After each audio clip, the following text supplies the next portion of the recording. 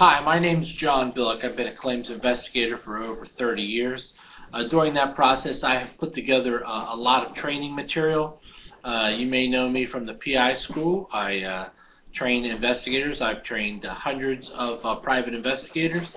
Now, when it comes to claims investigations, I put together what I call a uh, claims statement claims investigation statement uh, manual. It is uh, available on um, on Amazon.com. Uh, the ISBN number there is 9780-6922-03170.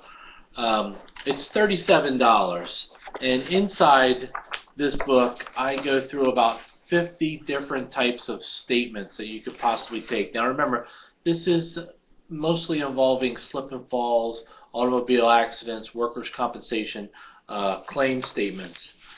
And um, so I, I put through the outline. Now, it's also a great training tool because I talk about statements, uh, how to set them up, how to get ready for them, uh, the type of equipment that we use when we're taking a statement, and then uh, I go into the actual outlines. Uh, over the years, I've had insurance companies call me and say, well, I want you to go out and take a statement for this uh, loss. It could be uh, an auto theft. It could be a homeowner burglary.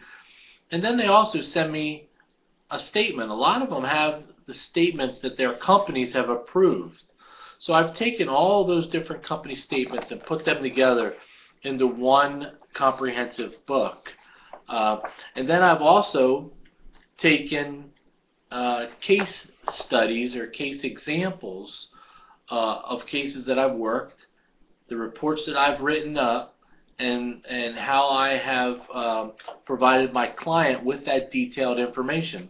So I've put those what I call case studies uh, in the back, and uh, they start out with uh, you know a premium fraud case, such as a, a false garaging issue case, uh, auto repair uh, scheme, um, a case involving brake checking where the driver in front hits the brake, causes the person behind them to run into the rear of them. Slip and falls, a very common accident. They're, they occur in shopping centers, they uh, occur in uh, supermarkets, uh, businesses. So slip and falls are, are a, um, a subject matter that we investigate uh, routinely. Um, and then a, a staged pedestrian uh, accident where someone actually, uh, you know, faked uh, an, an incident.